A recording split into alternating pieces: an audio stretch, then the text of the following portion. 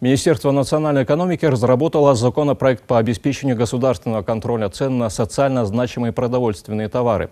Ведомстве признают, что закон сложный, нужно найти баланс интересов производителей, потребителей и продавцов.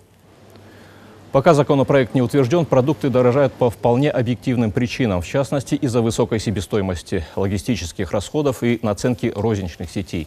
Для того, чтобы цены не повышались искусственно, в Миннацэкономики продолжит регулярный мониторинг за рынками. Региональным штабам и стабфондам поручено активизировать работу в этом направлении. Мы считаем, что необходимо также активно вовлечь э, институт э, общественного контроля и Институт э, контроля бизнеса за бизнесом. То есть э, в рамках недавно созданной ассоциации ритейлеров, комитета НПП по торговле, э, предлагаем им подключиться к этой работе с тем, чтобы такой сложный и государственный контроль был заменен контролем со стороны лиг, лиги и общей защиты прав потребителей, ну и внутри самого бизнеса через Атомикен.